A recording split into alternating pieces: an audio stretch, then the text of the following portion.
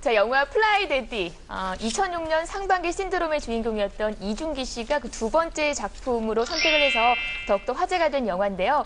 이 영화에 어, 연기파 배우 이문식 씨까지 가세를 해서 더욱더 완성도 높은 작품으로 탄생을 했습니다. 영화 시사회 현장에서 이문식 씨, 이준기 씨 두 명의 배우를 만나고 왔거든요. 지금부터 함께 보시죠. 자, 멀쩡한 대낮에 한 남자 고등학교에 나타나 칼을 뽑아든 이 남자, 바로 이문식 씨입니다. 강태구 나와! 강태구 나와! 누군가를 찾으러 온 것 같은데요.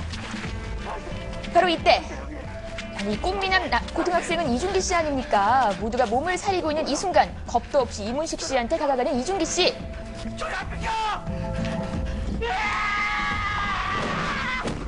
죽기 아니면 살기로 달려든 이문식 씨.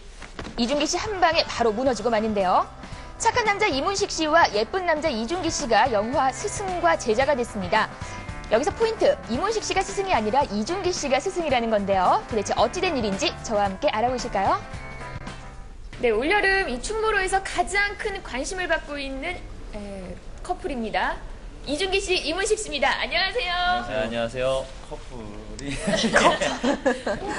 네, 어제 오후 서울의 한 극장에서 열린 영화 Fly Daddy의 기자 시사회 현장인데요. 영화 상영을 앞두고 이준기 씨와 이문식 씨가 무대에 올랐습니다.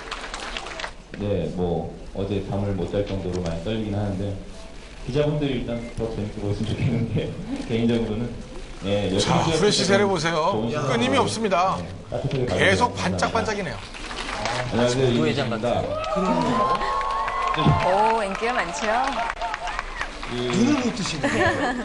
이준기 씨 못지않은 아, 인기를 보여주셨는데요. 만 남았는데요. 그렇게 어, 편안하게 관람을 해주시고요. 아마 보시면은 어, 나쁘지 않구나라고 하시지 않을까 이렇게 기대를 해봅니다. 감사합니다. 평범한 셀러리맨으로 성실하게 살아가던 이문식 씨. 왜 나한테 이런 일이 생기는 거야? 왜? 어느 날 만신창이가 돼서 돌아온 딸. 하지만 아빠는 아무것도 해줄 수 없는 힘없는 가장일 뿐입니다. 이문식 씨, 사랑하는 아내와 딸을 지켜줄 영웅으로 거듭나기 위해 훈련에 돌입하는데요. 하지만 훈련이 어디 말처럼 그렇게 쉬운가요? 거기다 이문식 씨가 스승으로 모신 고교 싸움장 이준기 씨. 남은 이렇게 죽어가는데 한가롭게 사진이나 찍고 있는 모습이 예사롭지 않은데요.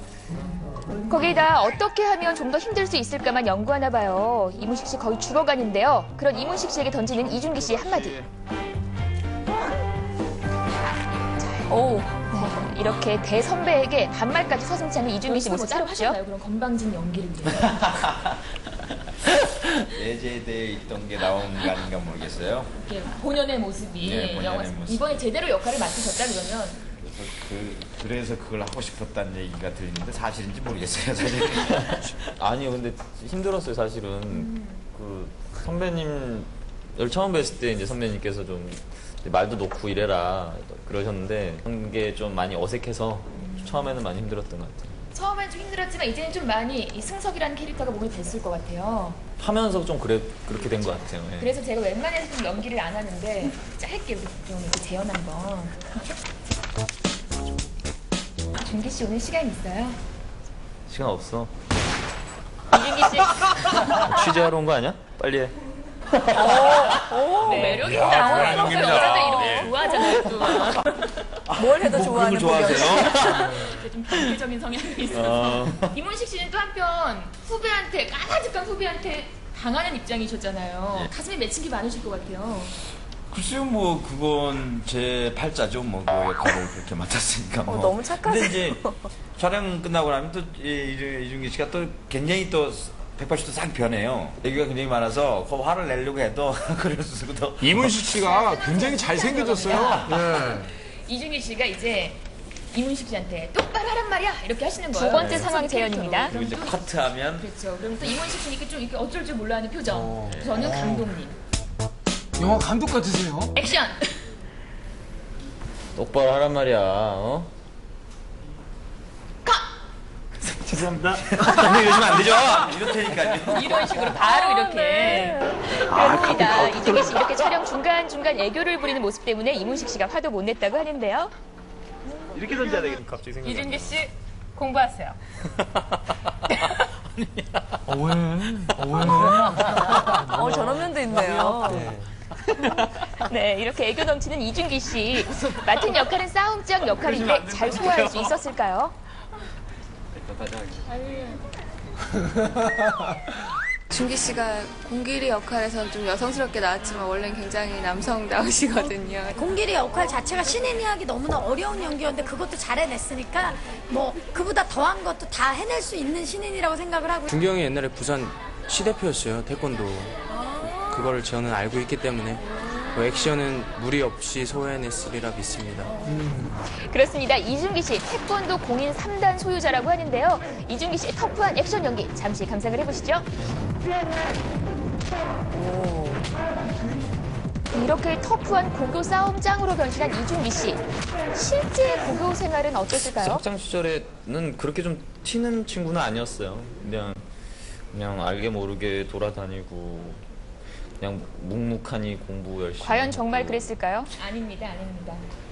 이준기 씨, 예? 발뺌을 하시면 안 되죠. 발병이요? 저희 회사의 미모의 안모 기자님께서 예. 이준기 씨와 고등학교 동문이래요. 안, 아 누구야? 안모 미녀 기자입니다. 나중에 언제 한번 기회 되시면 만나보시고. 안모요? 네. 안모가 누구예요? 창원 경일고등학교에서 이, 이준기 씨가 인기가? 정말 창원 일대 여고생들 휩쓸고 다니셨대요. 학교 때요? 네. 방송반이셨죠? 예. 이준기 씨 맞습니다. 고등학교 때부터 교문 앞에 상당히 인기가 여고생들이 많았었대요. 이준기 씨를 보기 위해서 그 학생 때도요? 네 학생 때부터 그랬대요. 지금이 아니라? 네 지금이 아니라. 지금이 아니라. 어, 어떻게 좀 뭐 본의 아니게 또 인정을 하시죠? 글쎄 뭐 그때 그분들께 감사드립니다. 네, 한 소심한 가장이 피나는 노력 끝에 영웅으로 거듭나기까지 과정을 따뜻한 시선으로 그린 영화 플라이 대디. 플라이대디는 다음 달 3일 개봉할 예정이라고 하는데요. 따뜻하고 가족적인 영화입니다. 아, 재미도 있고 감동이 있는 영화니까요. 플라이대디 꼭 한번 만나보십시오. 즐겁게 열심히 찍었습니다. 기대 많이 해주시고요. 가족분들이랑 같이 오셔서 보시면 정말 재밌으실 거예요. 기대해 주세요. 플라이대디 많이 기대해 주세요. 화이팅! 잘렸어요. 네, 이문식 씨, 이준기 씨와의 즐거운 만남이었습니다.